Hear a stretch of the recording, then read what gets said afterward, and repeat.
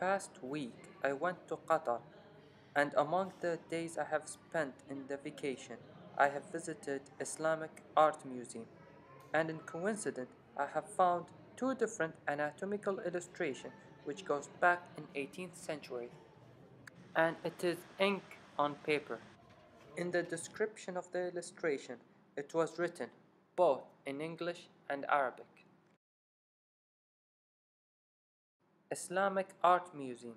It was designed by I.M. Pei, a 97 years old American Chinese, who was the same person who designed Louvre Museum in France.